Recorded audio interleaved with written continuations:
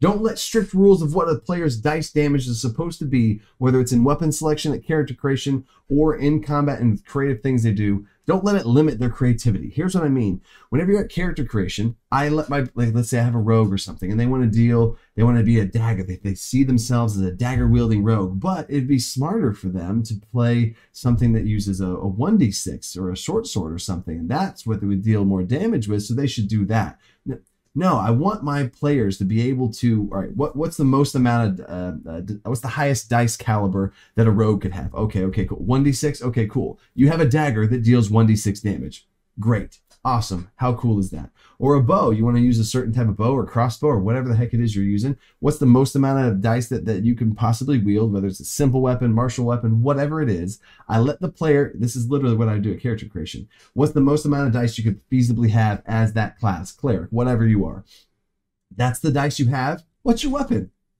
and to just say what their weapon is. Is it a sword? Is it a mace? Is it a maul? Is it a flail? What is it? I don't know. Now, if it's something like a whip, of course, there's going to be some different things there. Oh, it has the reach property or whatever, stuff like that. Or if it's a, uh, some sort of other weapon that has special properties, then sure. But if they want to have a great sword that's not 2d6 and they want it to be 1d12, sure. If they want to have an a two-handed axe or a, a great maul or a huge, huge mace of some kind that's 2d6, sure, let them do that whatever they want to do, whatever the dice damage they could have. They select the dice damage and then they choose whatever cool weapon their character wants to use. And then whenever you make weapons for them or they find weapons for them, you can just tell them what the dice damage is for that weapon. Cool, right? Uh, I don't feel like you should be too restrictive in in these ways whenever, especially at character creation, whenever your character just wants to make something. Uh, and then this also applies in combat. This is another extra bonus tip on top of this one is whenever players, there's so many times whenever they want to do something else besides walk up and stab them with a sword.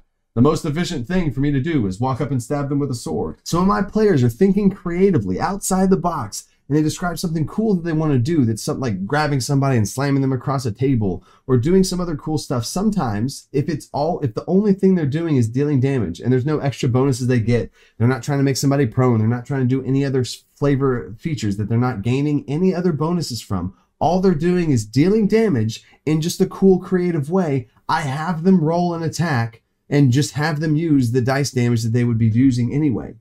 Or I've even flavored it as an athletics check where they make an opposed athletics check in some way. And the damage, if they win, the damage that they deal is the damage of whatever their max dice damage would be, or maybe one notch less. So if you have a player that can deal 1d10 damage normally, and they would walk up and attack with their 1d10 plus their whatever modifier, and then that's the damage they would deal. Instead, I'll have them do some cool, they describe some flavor thing that they're doing. Oh, wow, I want to reward that creativity and awesome moment they just added. And if there's not any extra effects or anything, anything, I'll just let them do that with the 1d10. Or sometimes if it's a little out there, it's a little, it wouldn't make sense to have that be 1d10. Maybe I'll downgrade the dice to 1d8 and it'll be 1d8 plus whatever their modifiers are, what they're trying to do, right? Or if they want to add some extra flavor, they're trying to like make somebody prone or move them or do something like that.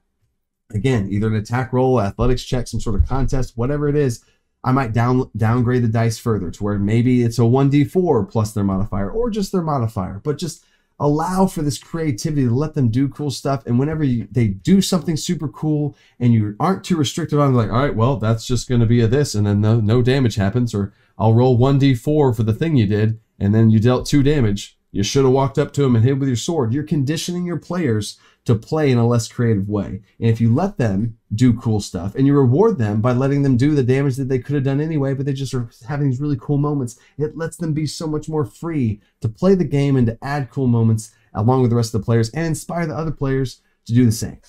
I hope you like these quick tip rant videos. Like them up, share them around, and until next time, stay creative, think outside that box. Peace.